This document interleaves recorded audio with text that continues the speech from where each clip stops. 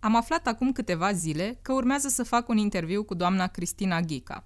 Așa cum procedez în cazul fiecărei persoane intervievate, mi-am făcut temele înainte să stăm de vorbă. Astfel, am aflat mai multe despre Ghica Boutique Law Firm, adică o firmă de avocatură specializată într-un număr restrâns de arii de practică, și am mai descoperit ceva, anume că nu există poză cu doamna Cristina Ghica în care aceasta să nu zâmbească. Am fost curioasă dacă e vorba despre un stomatolog demn de recomandat sau doar despre cele cinci porții de optimism necesare în fiecare zi. Uh, era vorba despre cinci porții de legume și fructe, nu? Uh, am decis să aflu oricum urgent răspunsul. Da. Să întreb care e rețeta sau uh, secretul porțiilor de optimism ar fi un clișeu.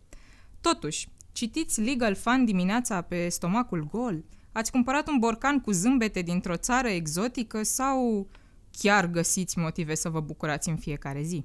Într-adevăr, cumpăr, cu ghilimele de rigoare, uh, zâmbete din uh, fiecare călătorie, uh, zâmbete ce au la bază numai bucuria de, de a trăi. Și trebuie să recunosc că îmi place să trăiesc, îmi place ceea ce fac, fac cu pasiune iar uh, unul din motivele um, strong uh, în viață de a mă bucura este, și fără să pară un clișeu, uh, este acela că am într-adevăr oameni deosebiți lângă mine cu care împart bucuria vieții. Cât despre optimism, trebuie să recunosc că am dobândit acest optimism incurabil de la tatăl meu, este o caracteristică a familiei noastre care întotdeauna m-a crescut spunându-mi că mergem înainte, că înapoi este podul rupt. Dăm borcanul din întrebarea precedentă unei gospodine să ne pună niște murături. În schimb, vreau să-mi povestiți puțin despre țările pe care le-ați vizitat. E vreuna în care v-ați întoarce sau preferați să vedeți ceva nou în fiecare vacanță? Am uh, călătorit destul de mult în uh, Europa, Însă am uh, preferat să mă întorc după 9-10 ani în anumite locuri pentru a le vedea cu alți ochi, pentru a le simți altfel. Avioanele sunt uh, una din pasiunile mele, îmi place foarte mult să zbor. Nu știu ce m-aș face dacă nu ar fi fost inventate, cum am putea ajunge într-un timp atât de scurt uh, dintr-un capăt al lumii în celălalt. Pentru început să vă spun că nu mă dau în vânt după Paris, uh, deși călătoresc și merg destul de des acolo și în interes de business. Sunt numai câteva zone care îmi plac uh, și îmi place să mă plimb uh, seara, să simt atmosfera faimosului Paris.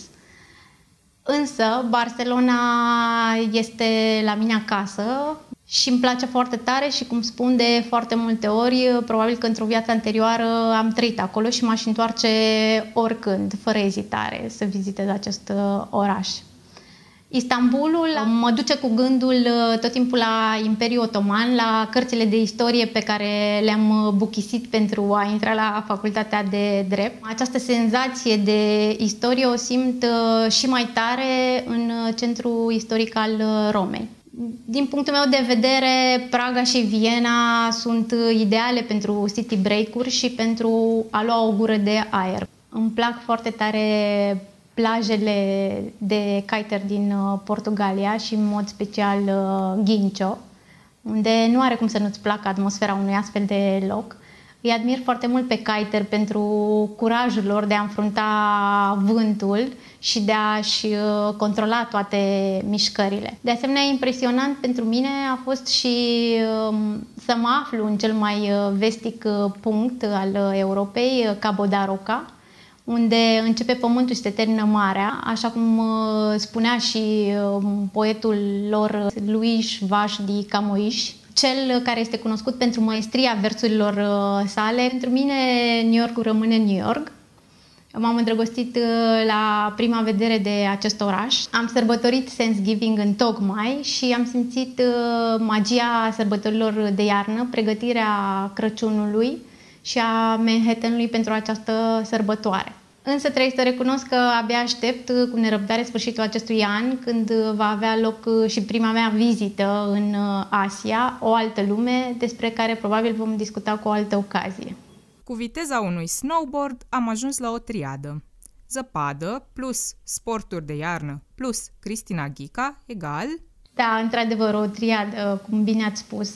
Deși am început uh, și am practicat de mică sporturi de performanță în not și volei, schiul a venit uh, mult mai târziu în viața mea. Am încercat uh, prima oară cu schiuri, însă mi s-au părut prea multe.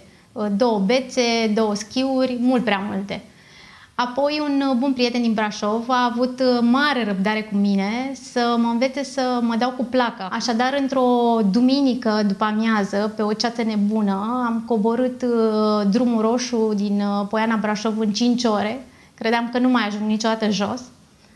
Însă atât de tare mi-a plăcut încât am mers doi ani la rând în Austria și am învățat să mă dau cu placa. Am învățat să simt muntele, îmi place foarte tare să ascult muzică house și să cobor și să controlez snowboard-ul pe cele mai abrupte pârtii. Mi se pare o adrenalină maximă și e senzație. Propun să lăsăm zăpada pentru Crăciun și să ne întoarcem înăuntru, unde e cald și bine și frumos decorat. Am auzit că aveți o relație cu designul interior. Vă mai vedeți și cu alte pasiuni sau e ceva serios? Mă mai văd și cu alte pasiuni, însă cu designul interior am o relație aleasă. Îmi place frumosul și îmi plac uh, lucrurile rafinate. Însă de ună zi spuneam uh, bunei mele prietene că mi-ar fi plăcut să am și un alt job și m-am trezit spunând că mi-ar fi plăcut să lucrez în cinematografie sau la o revistă de fashion. Chestia cu cinematografia mm, a venit într-o dimineață când eram la semafor în drum spre birou și în dreapta mea erau două mașini. În prima mașină erau uh, oameni cu un zâmbet uh, larg, satisfăcător că le-a reușit uh, dubla, iar în cea de-a doua mașină erau cei doi actori și a fost foarte fan că cel care conducea folosea și plăcuța pentru tăiat scenele și era atât de funny că trebuia să le facă pe toate odată, să și joace, să și taie uh, scenele și mi s-a părut uh, foarte frumos și am avut o așa o admirație că era un ger te înghețau apele în acea dimineață și ei făceau cu pasiune tot ceea ce făceau. Ați spus la un moment dat că nu ați putea să lucrați într-un mediu în care creativitatea este îngrădită. Provocarea mea pentru dumneavoastră este să le oferiți cititorilor într-un mod inventiv câteva cuvinte de încheiere. Am spus într-adevăr că creativitatea este importantă pentru mine și mă bucur să văd că, în, cel puțin în ultimii 2-3 ani, românii au dat uh, frâu liber uh, creativității și inventivității și fac lucruri din ce în ce mai speciale și um, creative. Și le-aș sugera tuturor uh, să fie ei, să facă cu pasiune tot ceea ce fac și în tot ceea ce fac să pună, să picure și un strop de magie, iar succesul va fi garantat. Vă mulțumesc! Mulțumesc și eu!